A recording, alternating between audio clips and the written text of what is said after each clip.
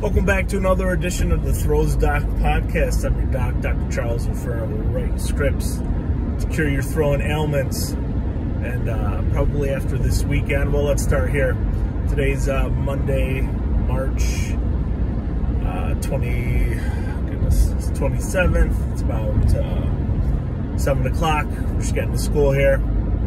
And uh, I'm sure everybody has some uh, NCAA bracket ailments they need cured. Uh, just looking at the numbers yesterday, I don't recall if um, ESPN or any of the other media outlets shared that any person correctly picked all four uh, Final Four teams uh, when the original tournament, when the bracket was released. I know uh, when they did our uh, when they released the um, Sweet 16 bracket. Um, some did a little better than others. I did not. I actually lost all the Sweet 16 games. Uh, my kids, uh, three boys, each have two teams in the Final Four. Uh, so that's not bad.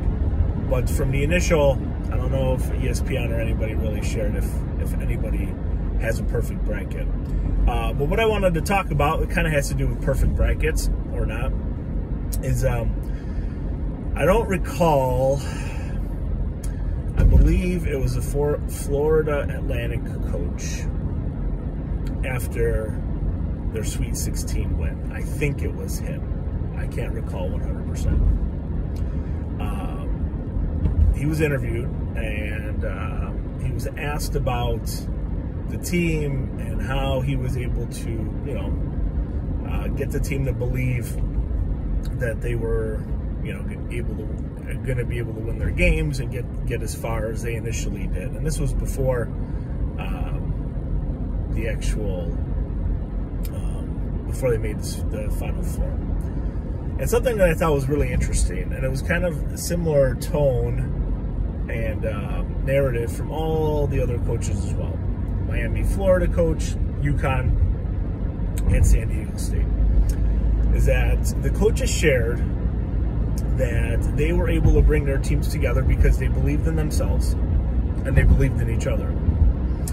And uh, there, there wasn't more as more of a follow up. Like I would have asked a couple more follow up questions about that. Basically, each interview, if you watched them back on uh, YouTube, uh, they talked about uh, a belief in one another, a belief in their team, a belief in their culture, a belief in what um, their focus was, and unselfishness, and all these different things, right?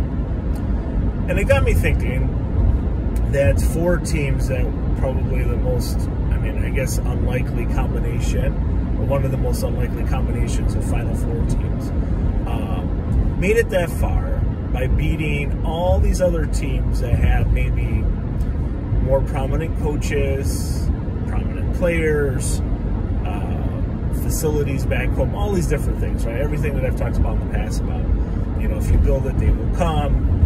And, uh, you know, if you have a great coach and maybe great athletes, maybe you have a, a leg up um, on your competition but I, I, find a lot of similarities with what the coaches shared and what Judd had shared many times in other podcasts and just like personal conversations about, um, you know, a good coach believed in will always beat a great coach whose athletes don't believe in them. And this isn't to say that the top teams or the, higher ranked teams or the bigger number, like, or the smaller number rather, like my uh, five year old says.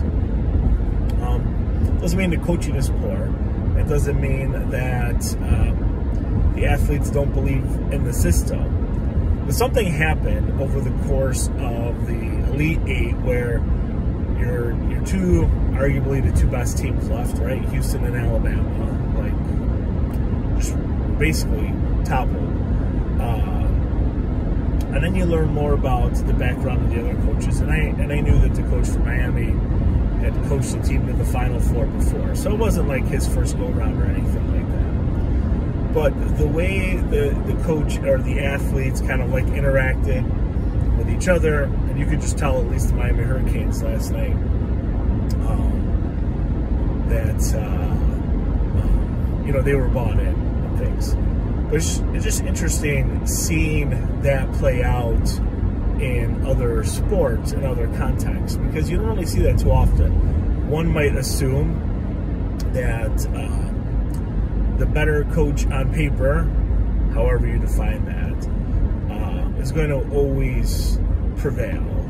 Uh, and, you know, it's not always the case. We, it was clearly evident this weekend that it was not the case.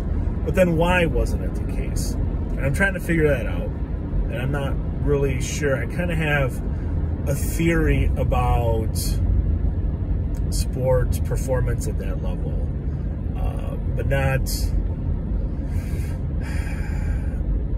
not uh, developed enough, or far far more developed than I'd like to share. But I think there is something to it that um, if you get a team on a roll late in the season and they believed in, in themselves, and they believed that they could, you know, essentially conquer these uh, the better teams on paper. Um, that there's really, you know, there's a good chance that they're going to going to be able to do that. Um, and you see it with other sports all the time too. You see it with uh, you see it in football, you see it in baseball, you see it in basketball, where it's not always the team not always.